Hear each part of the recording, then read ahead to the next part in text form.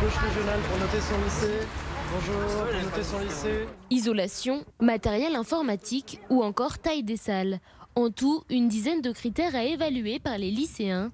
Devant l'établissement Juliette Récamier à Lyon, les élèves ont déjà décelé un bon nombre de problèmes.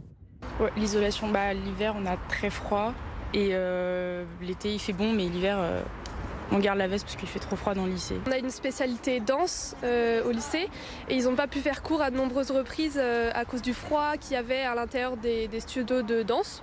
Et même s'il y a des toilettes à tous les étages, euh, bah c'est vrai que juste euh, trouver un toilette euh, qui est fonctionnel, des fois c'est compliqué. Faute d'avoir obtenu plus de détails concernant les investissements du plan Marshall dédié au lycée, une mission citoyenne a été lancée par les opposants élus à la région. Le but, se documenter sur l'état des lycées auprès des principaux intéressés, les lycéens. Si on a lancé cette mission d'information et d'évaluation citoyenne, c'est bien parce qu'on a des doutes que euh, les choses ne soient pas faites correctement. Euh, on est les écologistes, donc évidemment l'isolation c'est quelque chose d'important, mais c'est pas tout. euh, L'état des toilettes, c'est pour la santé des étudiants. Voilà, on veut que nos jeunes puissent étudier dans les meilleures conditions possibles. C'est une des compétences majeures de la région, Euh, donc voilà, les lycées doivent être en bon état.